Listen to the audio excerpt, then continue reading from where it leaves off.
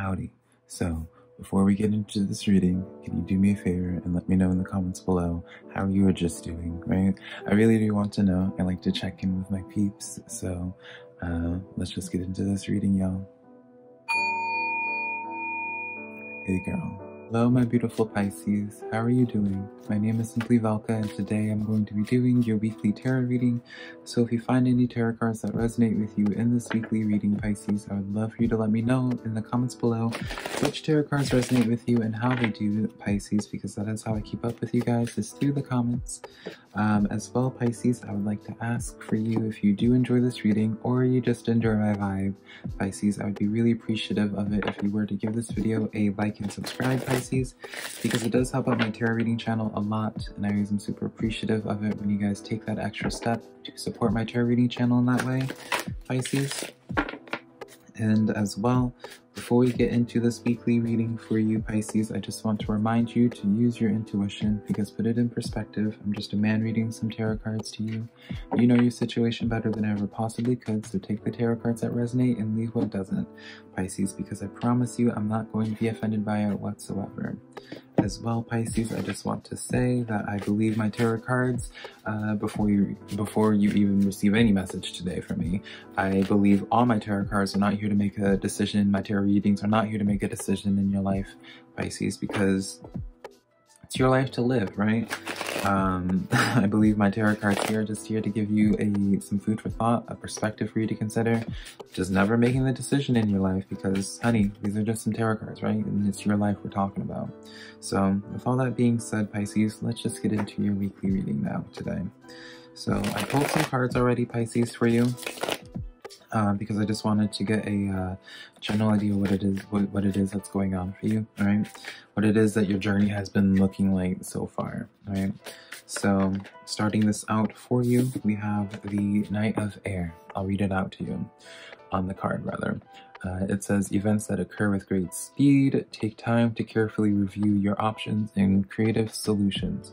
So very a lot of um, things are probably going to be happening this week for you. Uh, um, had the biggest brain fart right there. Because y'all know Pisces if you ever had like deja vu like how weird and surreal of a feeling it is in the moment. I had deja vu intense deja vu last week and I can't I feel like I was with you guys as well Pisces. Um yeah that's just what happened.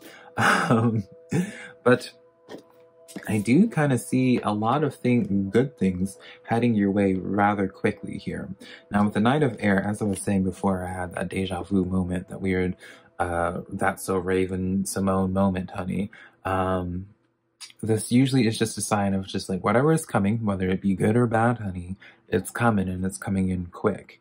Um, and it's going to really uh, challenge your thought process, challenge your mindset on how you handle this, right?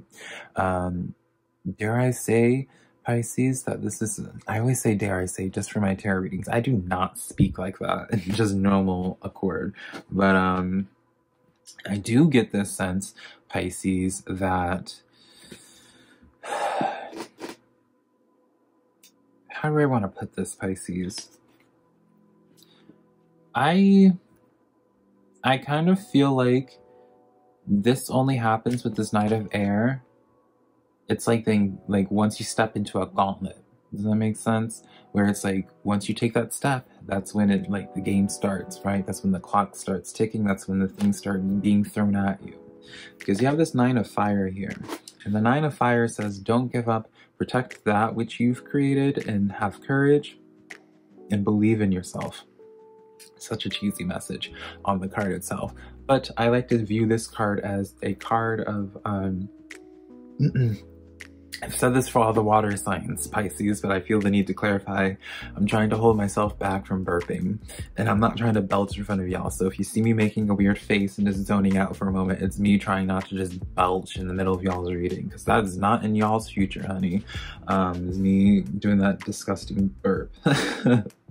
but the Nine of Fire, I see this more so as the situation of where it's like you take a step into this gauntlet, whether it's you taking this step towards some type of project, an affirmative step, whether it's like, I just heard the example of like you putting in your two weeks, uh, two week notice into something, I feel like that's when the ball starts rolling for you.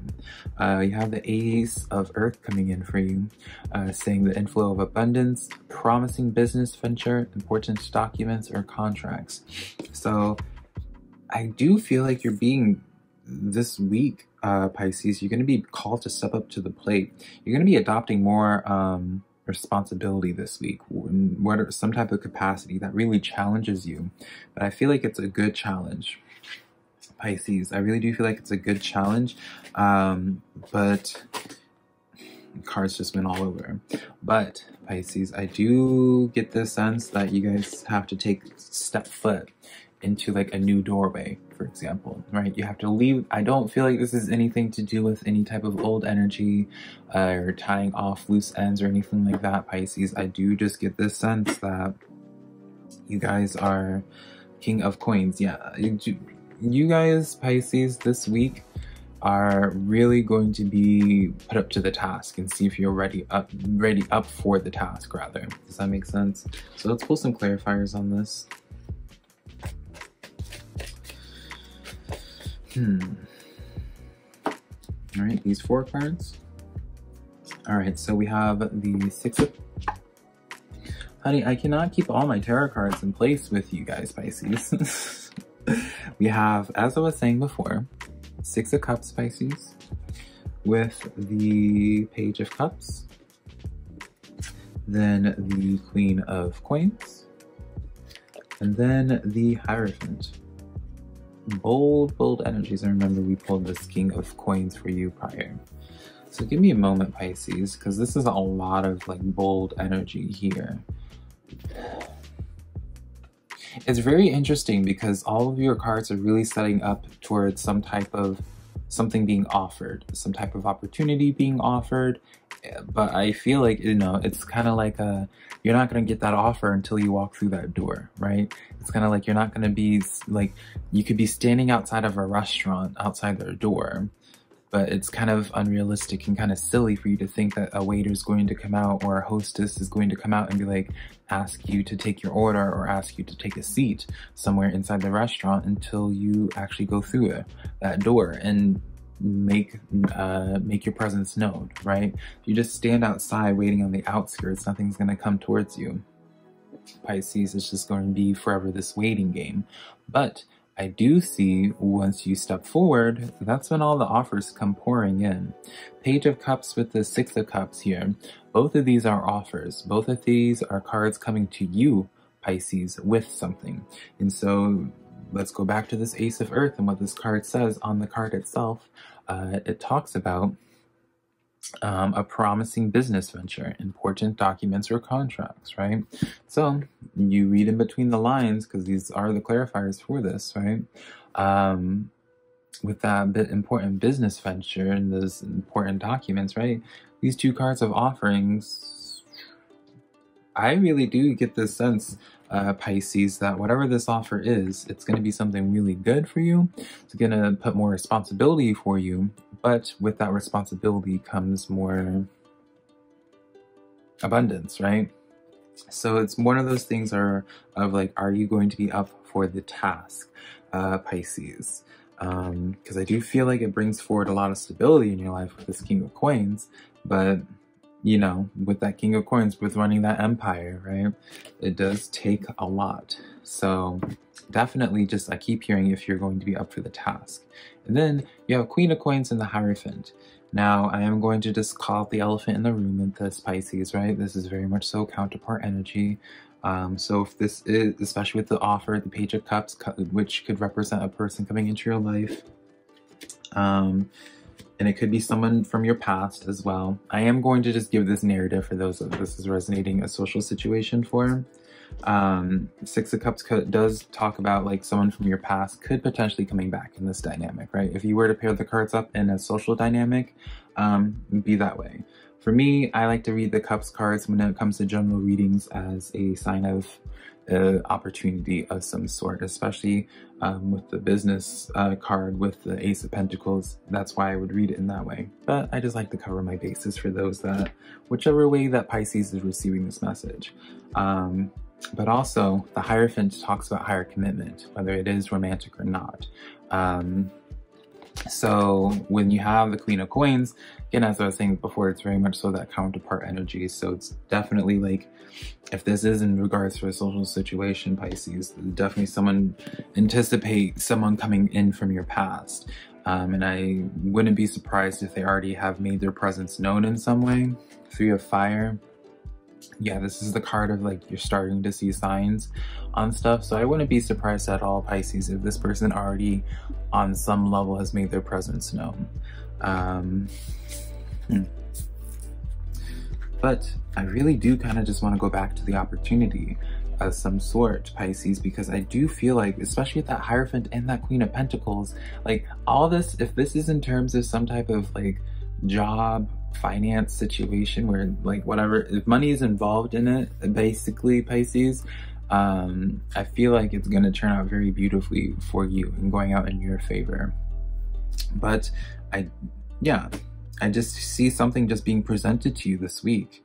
Something, whether, and keep in mind, this doesn't mean when I say you something, for like, this is just tarot, honey, remember, right? When I say something being presented to you, you could just be presented the doorway, right? Presented with that opportunity to walk through that thing that I was talking about, right? Um, you still have to work towards it, you still have to, what have you, but it's going to be available to you, Pisces. So if you are looking for to welcome in a new energy of some sort, welcoming in a new energy or um, welcoming in, when I say that new energy, right, this person, it's all encompassing, right?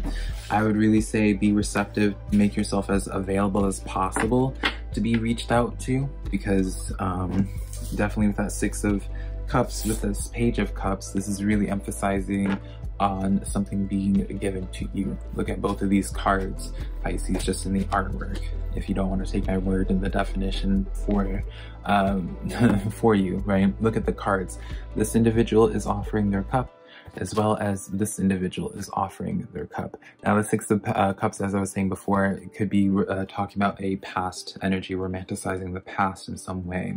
So um, it's interesting though, because now I want to address this more so in terms of an opportunity, right? As before, because I talk about it for the social, for the Six of Cups. But I, either way, hmm. If it is like an opportunity, this is definitely something that you tried to have your hands in, ha hands in before, I feel like Pisces. That's all I'm going to say on that. Um, so yeah, let's now look at Pisces. What is going to be going on for you this week? And see what's going on this week uh, for my Pisces today. All right. Hmm. Okay. I probably looked really weird there. All right, so a lot of cards for you. King of Cups, Pisces, Three of Swords, Knight of Pentacles, Five of Pentacles, the Sun card with the Ten of Cups. So, really confirming to me before of like what I was saying before with that Six of Cups. Whether it's an opportunity, honey, whether it's a job, whatever this is, this is not unfam uh, unfamiliar energy to you. This is something that you definitely had some type of situation with before, right? That kind of brought you pain. There was definitely some type of rejection of some type where maybe you were feeling like you were not enough, where you feel like you just weren't understood. Um, where just, yeah, like I do feel like you tried to attempt this situation. Whatever is coming back to you, I feel like you already tried at one point. And so the only thing I would kind of say if you, um, I mean, just, I mean, because I don't know y'all's story, right? I would say if you're wanting this to happen, right? I so far I'm not seeing why you wouldn't, because uh, I don't feel anything bad from it. Maybe you have a history there, honey, but it's in the history for a reason. It's not your future.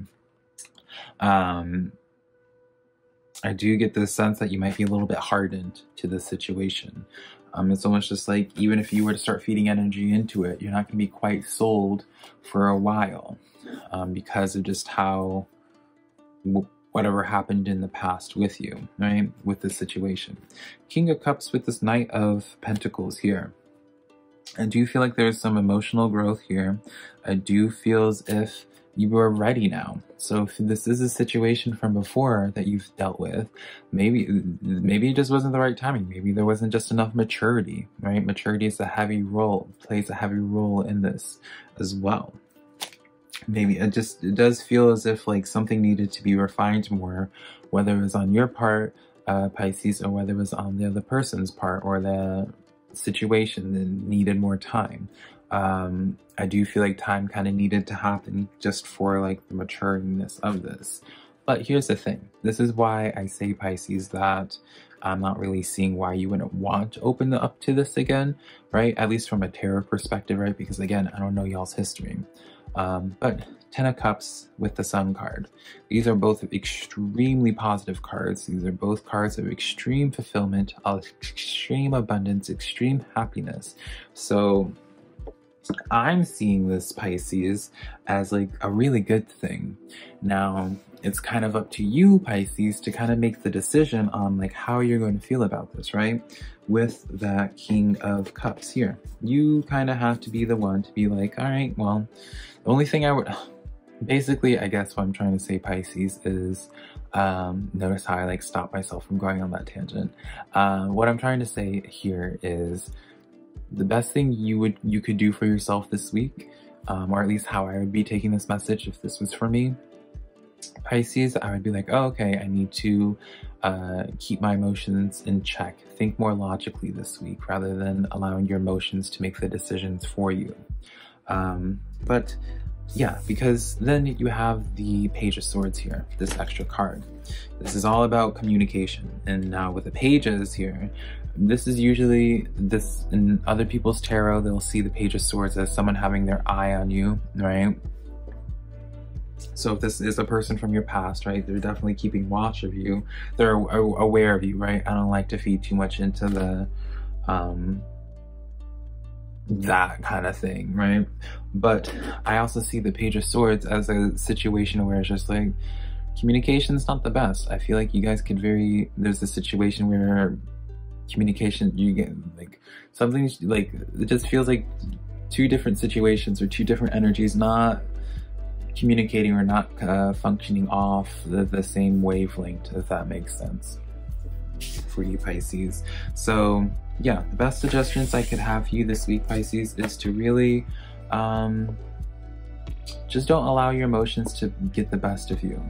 Don't choose, do not cut, the phrase I used to always hear as a kid is don't cut your nose to spite your face, which basically means um, don't just cut, like, don't just like hurt yourself in the process just to prove a point. Pisces, right? Think things through logically. Um, there's a time for emotions and then there's a time for logic, right? And while you may have a lot of strong emotions be brought up for you um, in the moment of interaction and what have you, that doesn't mean you need to fall victim to it, right? You can have those emotions and they can be just, just as quickly as they come, they can be just as quickly uh, passing for you in your life. So that is just something I wanted to say, Pisces. So um, yeah, let's get some closing uh, oracle cards for you this week, Pisces. See what the oracle cards have to say, what advice they have for you. All right, I'm going to be pulling, by the way, Pisces, if I can find the tarot decks, uh, two animal oracle cards as well as two moon oracle cards. So, all right, or three oracle moon cards for you. Y'all Pisces got a lot of cards this week.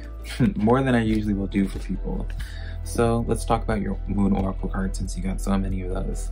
Uh, full moon and eclipse. These oracle cards I don't like to speak too much on just because I feel like these are very much so speaking for very specific situations for you guys that you don't really need me to like delve into it, right? Full moon eclipse conclusions are within reach. Full moon in Virgo, you are good enough. And new moon in Gemini, communication is key. What was I talking about with that page of swords, by the way?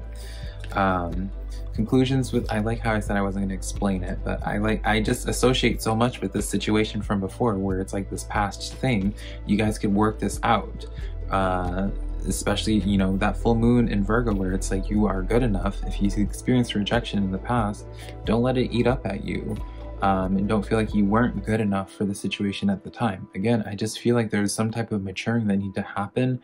Um, just time needed to pass before it actually would be meant for you, Pisces. And I know that just sounds like a cop out, but with these cards, honey, I mean, can you really argue, right? And then your animal oracle cards, you have the walrus card, which says remain vigilant about the current situation, pay attention to signs and omens, and let them dictate your choices, right? So this is a card of literally just like th thinking things through logically, right? Not letting your emotions get the best of you. I love these oracle cards, honey, because it just shows to you that how much they're on my side when it comes to me babbling on, right? And then your final card is the panda card. Create a sacred space for yourself in your home and or place of work. So definitely, whenever that card comes forward, Pisces, this is usually a card of like, Spirit will bring this forward when it, you need to make a conscious effort of disconnecting from your current space. Um, right? I feel like you do need something to make yourself reset. So whether it's creating a sacred space, honey, um, in your work, uh, in your home or workplace, or whether it's you getting into the habit of like taking more walks out into nature, just mm, making more of a point to just get up and move uh, Pisces, I really feel like it would be extremely beneficial for you, um, especially when you're trying to not have the emotions get best of you, get the best of you. But uh, yeah, Pisces, that is the tarot cards that I have for you this week. I hope you enjoyed this tarot reading for you, this weekly tarot reading for you. If you did, let me know in the comments below. Be sure to give this video a like and subscribe, Pisces. And also, I do weekly tarot readings for all the zodiac signs, Pisces, not just yours.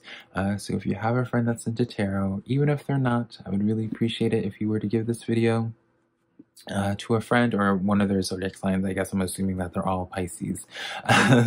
Send them their zodiac sign Pisces and maybe they'll find a tarot message that resonates with them. But until next time, Pisces, I love you so much.